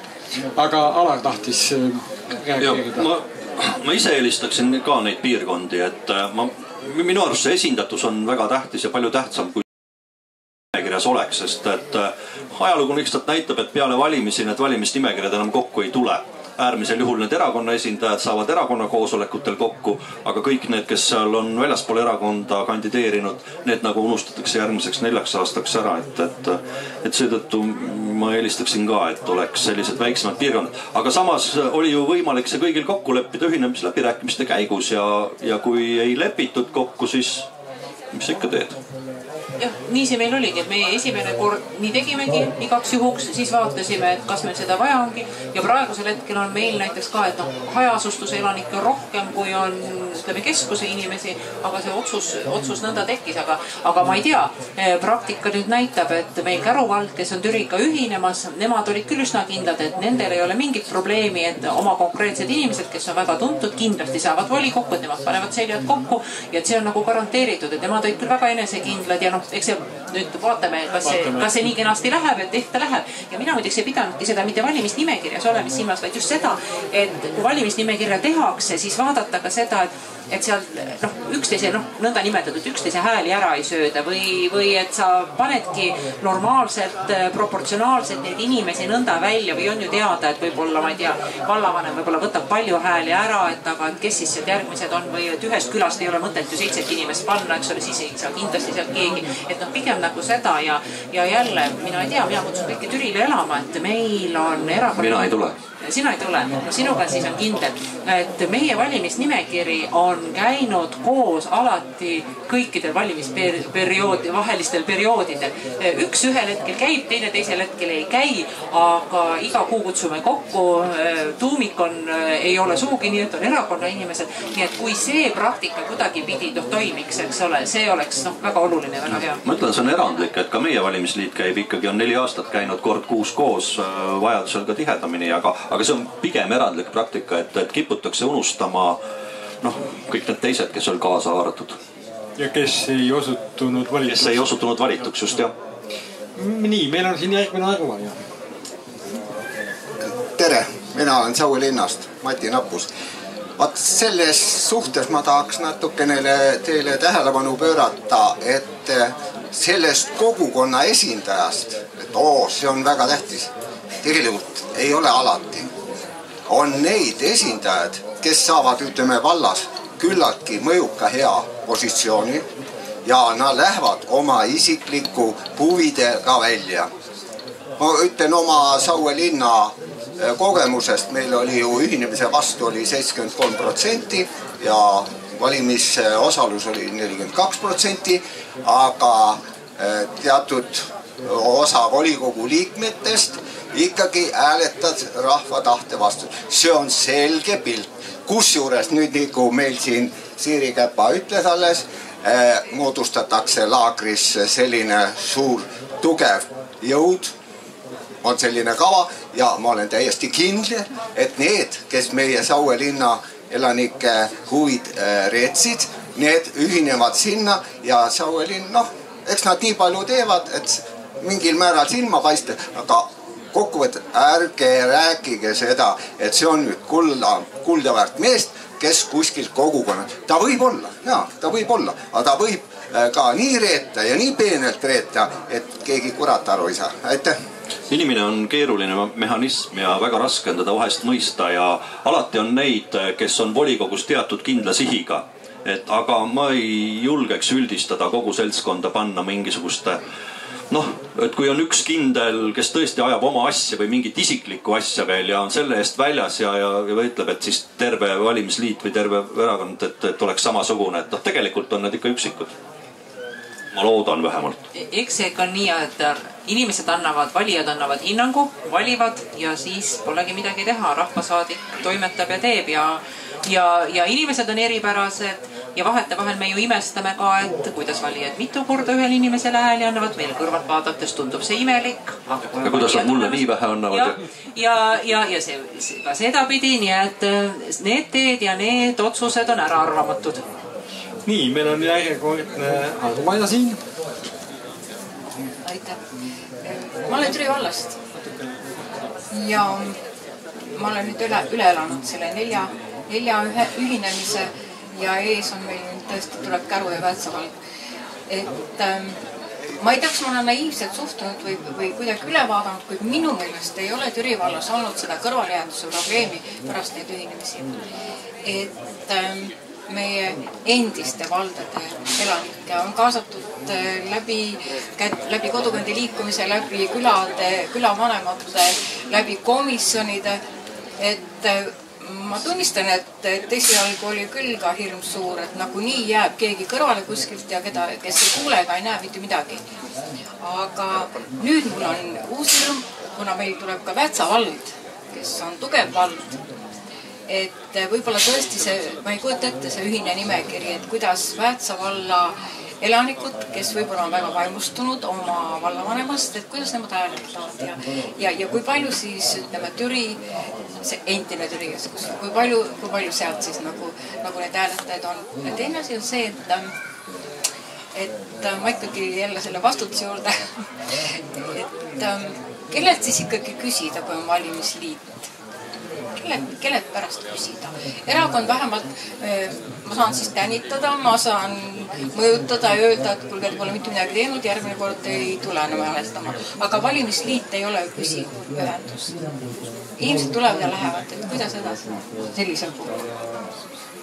et ma ei tea, Türi valla kiitmise võtad oma peale mis, mis ma nüüd ikka, eks ma olen siin juba tund aega kiitnud, onju, et aga, aga no ju, ju meil on kuidagi niimoodi noh, mõistlikult ja enam-vähem läinud, mitte pilvitult, eks ole, aga, aga enam-vähem normaalselt on ta ju läinud ja, ja ma usun, et, et eks see on ka see põhjus, miks me praegune ühinemisprotsess ka suhteliselt sedasi nagu arukalt ja rahumeelselt on läinud, et ilma suurte pahanduste ja, ja kaeblemisteta, et eks me proovime ikka pärast neid valimisi, ma saan siin EHA murest aru, et aga, aga ka nende uute valdadega koos hästi hakkama saada. Et ma tulen siis selle vastutuse juurde, eks, et kui Keskerakond või Reformierakond vastutab, kes siis vastutab? noh, mina ei tea, kes vastutab, nähtavasti mitte keegi, sest see on see tore kollektiivne vastutus kui valimisliidu inimene vastutab, siis seesama inimene tegelikult vastutabki, ta on palju rohkem oma näoga seal, oma nimega kui, kui erakonna esindajad. ja milles vastutus tegelikult seisneb? kui tulen nüüd Rapla valla juurde tagasi, ütleme, et Reformierakond, kes meil on läbi aastate võitnud valimised, eelmised valimised kaotas. noh, seega on ta midagi halvasti teinud ja peaks nüüd vastutama. aga ta ühines teiste teiste erakondadega, on rõõmsalt võimul edasi. nii et milles siis tema kaotuse vastutus nüüd seisneb? ma usun, et eks ta on selles, et küsitaksegi, et me, näiteks meie, mida teeme iga kord, kui järgmised valimised tulevad, nii nagu ma ütlesin, et me aastast kaks tuhat kaks oleme alati erakonna nime all väljas olnud. ja kirjutamegi, eelmisel korral meie valimislubadused üks kuni kümme olid sellised. esimene, mis oli tulemus, teine, mis oli tulemus, kolmas, mis oli tulemus ja ja kuigi iga kord ju meie nimekirjas osa inimesi vahetub, tuumik on sama, nimi on sama ja, ja, ja selle tulemusena on mingi selline stabiilsus ja järjepidevus. no nii nagu sina ütled, et teil on ka olnud selline, selline ütleme valimisliit, mis on siiski oma ütleme tuumikult ju ka püsiv, siis on ilmselt see asi lihtsam, aga vahetevahel on ju ka seda, et noh, tõesti, et ükskord öeldaksegi, et nüüd ma olen samm edasi, teinekord kaks tagasi. ja võib-olla just sellepärast, et oleks kuidagi nii, kuidagi lihtsam, nii et eks need olukorrad kohalikes omavalitsustes ongi täiesti nagu öö ja päev. ma teeks omalt poolt ühe repliigi siia maastikule, et miskipärast arvatakse, et erakonnad on püsivad ja valimisliidud ei ole me teame Eesti lähiajaloost äh, vist äh, kümneid, võib öelda, erakondi, mis kunagi on loodud ja mille nimegi me täna enam ei mäleta. tõsi, osad neist on ka ühinemise kaudu oma, oma nime kaotanud, aga me teame näiteks kes, koonderakonda, mis äh, kadus jäägitusse ajaloo noh, sinna, sinna kasti. ja, ja, ja ütleme, tegelikult oleme ausad, ka Rahvaliit kadus Helme ütleb küll, et me oleme ta nüüd uuesti üles ehitanud, aga, aga sisuliselt võiks öelda, et Rahvaliit oli vahepeal täiesti teovõimetu. nii et ma ei tahaks öelda, et, et erakonnad on jumalast loodud igaveseks ajaks igavesti. ka nemad võivad olla sama püsivad moodustised nii nagu me vaatame ettevõtete maastikul, me ei saa öelda, et suurettevõtted ei lähe pankrotti ja väikseettevõtted lähevad või vastupidi. nii et, nii et ma siin ei, ei, ei julgeks küll nii, nii võimsalt äh, välja käia, et, et erakonnad on igavesest ajast igavesti aamen. seda vist keegi ei öelnud ka. ei, ma umbes neli, see oli vist eelmiste valimiste eel, kui ma tegin, kui ka räägiti, et noh, et see valimisliit ei vastuta ju, nad kaovad ju kodumurud ja need äh, noh, narritakse selliste nimedega, eks, et, et ma panin Rapla maakonna nagu valimistulemused kõikide valdade kaupa, kas mingi kaks või kolm valimisperioodi võtsin ja proovisin panna nagu erakonnad ja valimisliidud, et noh, mis on saanud, eks vot sellest valimisperioodist järgmiseni eks, et valimisliitudega on natukene raskem, seal on ju see nõue et, et viiskümmend protsenti peab olema sama seltskond, eks, et siis saad sama nimega minna.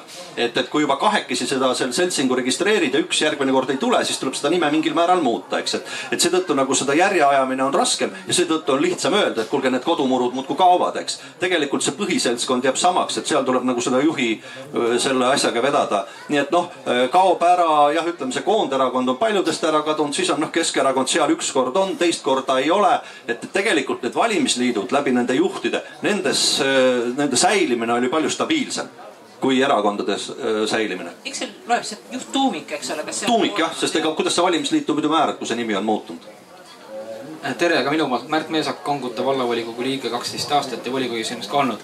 et see vastutuse teema on ka meil äh, valimisliiduna alati äh, teemaks tulnud, et olen sama valimisliiduga kandideerinud antud vallas kolm korda järjest Äh, sama nimega ja sama tuumikutega, et, et ma ei tea, kui kolm korda valimisi järjest ei ole valimisliidu mõistes vastutus, siis ma usun, et siiski on. ja äh, teine äh, aspekt, mis ma siia juurde tahaksin vastutuse teemal tuua, on omavalitsuse valitsemise aspekt, et me valime neid inimesi siiski seda valitsema, seda omavalitsust. ja kui mõni tänane või endine vald on pankrotti läinud, need Eestis on tegelikult juhtunud ja neid tegelikult on valitsenud erakonnad, siis kas need liikmed sealt erakondadest on siis kuidagi vastutanud selle eest. no ei ole, kandideerivad uuesti, kas osutuvad valituks või mitte, aga ega see poliitiline vastutus ei sõltu sellest, kas ma kandideerin valimisliidus või erakonnas, vaid ikkagi inimese enda südametunnistusest. et ja valijate hinnangust ja vastutus minu meelest ongi valijate kätes, et kui teie meelest kandidaat ei ole täitnud teie ootusi, siis ärge andke temale lihtsalt hääli järgmine kord ja nii lihtne see ongi, et olenemata, kuhu nimekirja ta kuulub, kas ta on koda, kodumurus või äh, erakonna nimekirjas. pluss riigikogu valimised, kui me vaatame, siis äh, tihti on äh, poliitikutega selline vangerdus, et kui äh, täna kandideerin Jõgeva-Tartumaal sain mandaadi kätte, mingil hetkel juhtub, et ma väga populaarne enam seal ei ole, ehk ma ei ole selle piirkonna jaoks mitte midagi teinud, ma ei hakka nagu roppu sõna tulema, äh, ütlema, et mitte asjagi teinud, siis mind lihtsalt tõstetakse partei poolt järgmisse ringkonda.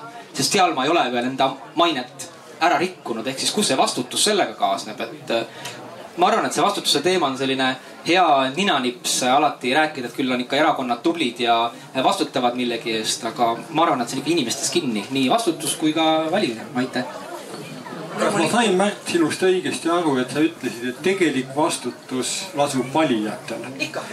nii et valija vastutab valija vastutab targa otsuse eest, aga kui juba sa oled valitud, eh, siis see vastutus on ka sinul. ja nüüd küsimus on see, et kas valija teeb kaks korda ühesuguse otsuse, kui siin oli jutt, et vot valiti keegi ja pole üldse õige mees või õige naine. no siis on küsimus, kui teist korda veel valitakse, siis järelikult kellegi meelest on õige mees või naine. aga mida siin proua enne vist ilmselt tahtis ka rõhutada, on see, et, et see lisavõimalus on olemas, kui on äh, erakonna nimekiri. et äh, saab tänitada veel kellegi kallal ja mingi häbi, kui näiteks siin oli juttu pankrotti läinud omavalitsusest, mingi häbi langeb veel kusagile, mitte ainult sellele tegeliku teo tegijale, vaid on veel ka sellele erakonnale, et näete, teie juhitud omavalitsusega läks kehvasti. aga, aga nii nagu räägitud, loomulikult kõik need, kes on valitud, on tegeliku töö tegijad, ongi selle tegeliku mandaadi saajad ja neist see sõltubki, mis sealt tuleb kollektiivne vastutus, on minu lemmikvastutus. tervist, minu nimi on Argo Loo ja mm, mina arvan, et kõige suurem probleem ongi see tsentraliseerimine ja, ja see, et, et inimesed võiks nagu rohkem teadvustada seda ja, ja püüda ka igal tasandil, ükskõik mis tasandil me oleme äh,, seista selle eest, et seda juhtuks. demokraatia täna on üleüldse huumor, demokraatiat pole olemas. kui me vaatame, et äh, kuidas poliitilised erakonnad äh, tahtsid ära kaotada valimisliidud ja mis, mis peale seda juhtus, juhtus see, et, äh, et kui enne oli äh, kaks kolmandikku, kaks kolmandikku kohalikes omavalitsustes valimisliitude liikmed, volikogud, volikogudes võimu tasandil siis. Ja, ja üks kolmandik oli siis poliitilisi parteisid, siis kuigi Riigikogu hiljem tühistas selle valimisliitude keelu, see mõjus, mõjutas selliselt, mõjus selliselt, et see number muutus vastupidiseks. peale seda järgmistel valimistel oli kaks kolmandikku olid poliitilised erakonnad, üks kolmandik olid valimisliidud. Et see on nagu üks, üks selline näide, minu arust haldusreform täpselt seesama asi on ju ja, ja siis, kui see haldusreform on tehtud, siis avastatakse, oi, et aga sellega seoses kaob ära on ju seitsesada töökohta siis hakatakse neid äh, tsentraliseeritud ministeeriumide asutusi uuesti maale tagasi viima, onju. et see, see tervikpilt onju, julgeolek, me peame olema asustatud ja sellel kohalikel inimestel peab olema võim, onju. et siis see on see tagasiside probleem ka. Ja, ja võimude lahusus, ütleme see, et äh, kui apteeker ostab ära endale Postimehe, onju. et kui me näeme seda, et poliitiline võim, majanduslik võim ja onju, ajakirjanduslik võim liituvad, koonduvad, nimelt see on tsentraliseerimine. see on loomulikult probleem, sellepärast et äh, algselt nendel kõigil on omaette erinevad eesmärgid. Aga, aga loomulikult, kui seal eesotsas on nagu üks inimene või üks, üks asutus on tsentraliseerinud, siis ta hakkab seda kuritarvitama. et veebruaris sellel aastal äh, tuli välja, et äh, kaheksandal inimesel, kaheksandal maailma inimesel on sama palju varandust kui kolmel ja poolel miljardil elanikkonnal ehk viiekümnel protsendil maailma elanikkonnast. ja see kolm ja pool miljardit maailma elanikkonnast on nii vaene, et tõenäoliselt nad ei saa ei erakondasid rahastada, et nad ei, ei oma ei meediat ega mingeid ärisid. aga see kaheksa inimest on ju, nemad rahastavad erakondi. Nad on ka meediaomanikud aasta tagasi, aastal kaks tuhat kuusteist kuuskümmend neli, tähendab kuuekümne neljal inimesel oli sama palju varandust kui poolel maailma elanikkonnast. sellel aastal, aasta möödas, number on kaheksa. me peame seda endale teadvustama. see on probleem. ja ma arvan, et see on suurim probleem. aitäh, me läksime nüüd globaalsele tasandile. Kaia, ütle nüüd ausalt, palju sellest kaheksa mehe rahast IRL-i kukub? Oi jummal, vaat kui raske küsimus selle kaheksa mehe rahast, ma kardan, et ei jõua kohe üldse ühtegi senti sinna selle kaheksa mehe rahast. aga mina arvan, et teoreet-. ma ei tea, eks ole, ma ei ole kuskilt küsinud, aga mulle tundub küll, et see. tähendab, mina arvan, et teoreetiliselt eh, võib täitsa juhtuda, sest nende ettevõtted, tütarettevõtted, veel tütarsidus ja kõik muud ettevõtted. et ma arvan, et nende juured tulevad Knorr eh, näiteks, noh, on Eestis ju müügil, ma ei tea, kas Knorr toetab teid, ei toeta, aga, aga, aga nende rahvusvaheliste firmade esindused on siin olemas, nii et võib-olla isegi juhtub, et, et mingisugune osa pudeneb. minu jaoks on ka probleem, ma ei kuulu nende kaheksa hulka. ja, ja valimisliitudele nad ei anna üldse ja sel kolmel poolel miljonil ei ole raha ei erakondi toetada ega valimisliite toetada. võib-olla annavad, meil ei tea, eks ole, keegi kodanik, kes on, ütleb, et tema tahab kodaniku eh, tegevust toetada annab ja võib-olla lahkesti, ega me selles seda kindlad olla. eks tõsi ta muidugi on, et me tahaksime, et see maailmas rikkus jaotuks ühtlasemalt inimeste vahel ja, ja, ja kindlasti on see probleem, aga, aga seda probleemi me vist ei lahenda ära kuidagi sel moel, et kas me valime Türi või Rapla volikogu nii või naapidi. aga kas meie hulgas on veel inimesi, kes tahaks kindlasti midagi arvata? ei ole siis mul oleks selline äh, ettepanek, et teeme nüüd siis kordushääletuse. et me oleme nüüd. ma, ma ütleks lõpetuseks midagi, tegelikult üks asi. lõpetuseks, lõpetuseks sa saad sõna veel. sa saad siis hääletustulemust kommenteerida ja kõike. et kui me siin noh, osad on aja läinud, osa inimesi, aga me tegime hääletuse, et kes on seda meelt, et kohalike omavalitsuste ähm, noh, valimismudel peaks olema pigem selline valimisliitude põhine ja kes on seda meelt, et ta võiks olla erakondade põhine, et ma panen siis jälle erakonnad hääletusele, et kes on seda meelt, et erakonnad peaksid olema selle kohaliku elu põhilised äh, juhtijad ja, ja toimetajad. käed püsti. Need viimasedki läksid ära. kaks ei ole, kolm häält, meil on meil on üks, üks, üks hääl tuli juurde, kolm häält, kes on erapooletu? üks on erapooletu, kolmest erapooletust jäi üks järele. nii, ja kes on valimisliitude poolt? noh, ütleks nii, et ikka, ikka valdav enamus, nii nagu ennegi. aga neid on veel vähemaks jäänud. protsentuaalselt oleme rohkem kaotanud et ma siis ütlen niimoodi, et me oleme tund aega tühja tööd teinud ikka enam-vähem sama. tund, poolteist, poolteist tundi tühja teed. aga mm, mul on nüüd jah, selline ettepanek, et äh, kumbki äh, debatis osaleja saab veel lõpusõnaks midagi kokkuvõtteks öelda ja, ja, ja nii on, et kas punktist. ma võin alustada, Kai alustas enne. et, et äh, minu arust ei ole jama ei valimisliitudes ega erakondades, minu arust on jama see, et me ei saa, me ei suuda kumbki korralikult oma valimisnimekirja kokku panna.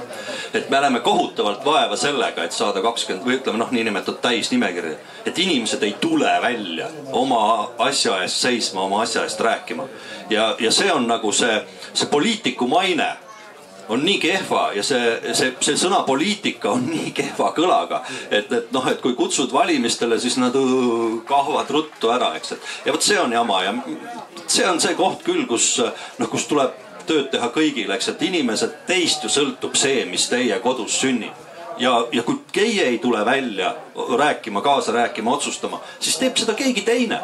Ja minu arust nii lihtne see ongi, et, täitsa nõus ja kuna mul on juba üsna kiire, siis ma teen lühikese kokkuvõtte ja julgen lõpetada sellega, et kõigepealt aitäh kuulajatele, aitäh kutsumast ja julgen ikka öelda, et Türi vald on üks jumalast hoitud paik. meie nimekirjas on praegu viiskümmend kolm inimest, kes on oma jah-sõna öelnud, et nad osalevad valimistel ja võib-olla tulevad mõned veel juurde. nii et eh, kuigi võib olla see noh, aga ilmselt see stabiilsus ongi see, miks nad ütlevad, et jah, nad tulevad meiega, nii et meil on hästi läinud Alari mõttele rahvusvahelist mõõdet juurde anda juba Churchill ütles, et et poliitikaga pead tegelema, vastasel juhul sa riskid, et maailma valitsevad hullud. muidu tegeleb poliitika sinuga. just, aga ma omalt poolt äh, väga tänan äh, meie esinejaid, teeme neile suure aplausi